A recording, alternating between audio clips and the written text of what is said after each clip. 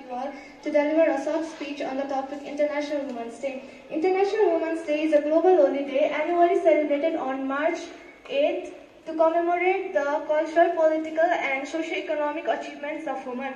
It is a focal point on women rights movements Women rights movements bringing attention to issues such as reproductive rights, gender equality, and violence and sexual abuse against women.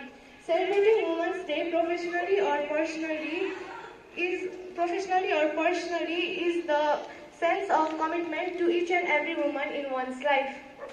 Women from all walks of their life gather together around the country, spanning the cultural and ethnic divides spanning the cultural and ethnic divides to commemorate the battle for peace, justice, equality, and, and progress. International Women's Day is all about valuing oneself and knowing one's full potential. Aside from that, women need to summon the fortitude to overcome all the obstacles in their life, obstacles in their life and to achieve, in order to achieve significant progress. There is a common misconception that women problems are unimportant, but this is absolutely not true. We all need to salute all the women out there who are doing wonders around the globe and making our nation proud. These women have fierce and robust spirit in them that makes them excel in their respective areas. They deserve all the love and support by the world given to them on this day.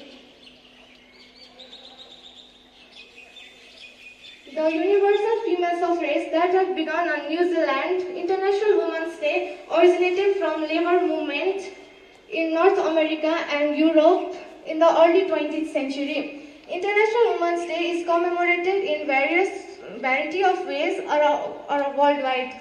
It is declared as public holiday in several countries and in several countries and